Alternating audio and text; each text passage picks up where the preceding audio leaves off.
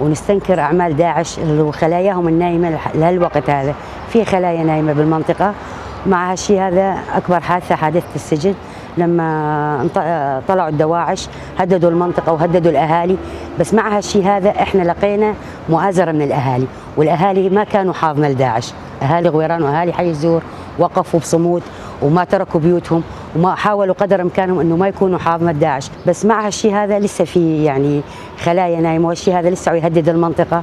وإحنا نناشد آه، شعوبنا ما شرق سوريا بأنه يوقفوا مع سوريا الديمقراطية ويآزروا آه، حماية الأسايش آه، بحيث إنه ننهي على هذا الإرهاب.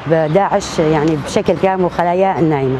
مواطن عبد الله طلاع من أهالي حي غويران الغربي. يعني بجميع الدول هي أخطر منظمة. والقضاء على على داعش وعلى خلايا داعش. داعش لسه لها خلايا. وقوات سوريا الديمقراطية يعني ما قصرت ومشت بتمشيط وتمشيط. أكثر على ذلك يعني إنه الدليل على ذلك بتل حميس لقوا عده مستودعات أسلحة آه، كبيره كمية كبيرة. آه، داعش لم تنتهي. آه لازم نطلب من الأهالي والعشائر أن يصطفوا إلى حول قوات سوريا الديمقراطية والأمن الداخلي. لازم يتعاونون مع القوى الأمن الداخلي.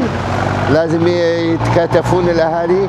أي شيء آه، يلاحظون عليه شيء مو مضبوط أو مو مو مو مو طبيعي بيخبروا مباشرة. قوى الأمن الداخلي آه، أقرب نقطة لهم يخبروا يعني لازم يخبروا اي اي أي جهة معنية بهذا الأمر.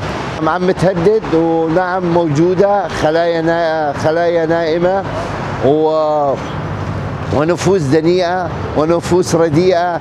كل من يتعاون مع هذه المجموعات الإرهابية. فيها الحملة الإنسانية اللي قاموا فيها الرفاق. آه الله يعطيهم العافية. ونطالب ونطالب بالمزيد. بالمزيد والتمشيط والأمن والأمان في هذا المخيم. لقوا أسلحة وجابت نتيجة واعتقلوا بعض الأشخاص الإرهابيين. ولا يزال في المخيم منظمات إرهابية. إحنا نطالب من الجهات المعنية أن تزيد وتكثف الحملات على هذه على هذا المخيم. عبد السلام عواد من أهالي المنطقة من سكان الحي. طبعا تنظيم داعش يشكل خطر على المنطقة وعلى الشعوب بشكل عام ويشكل خطر عالمي. يشكل خطر على مستوى العالم. فمسؤولية الأمن مسؤولية الأمن مسؤولية الجميع. الواجب من الأهالي اللي يترتب على الأهالي إنه يتعاونون مع قوى الأمن الداخلي ومع قوات سوريا الديمقراطية حتى نحد من هالخطر هذا. وصار أكثر من حادثة صارت هنا حادثه غويران حادثة سجن غويران آه، راح ضحاياها 121 آه، شهيد بحي غويران هنا. الحملة الإنسانية بالهول تم القبض على أعضاء الخلايا الإرهابية وتم تحرير أسراء وراح فيها شهداء. فالحملات الإنسانية إحنا نطالب بها ونشجع الحملات الإنسانية للقضاء على هالخطر طبعا سوريا الديم... قوات سوريا الديمقراطية قضت على تنظيم داعش تقريبا بشكل كامل لكن لا زال في خلايا ببعض المناطق وطبعا متسترة الخلايا مي مي ظاهرة حتى يلقون القبض عليها أو يحاربونها بشكل مباشر. نناشد الأهالي بأنه اللي يشوف خلية أو يصير له خبر عن خلية لا يتستر. لا يتستر ولا يخاف.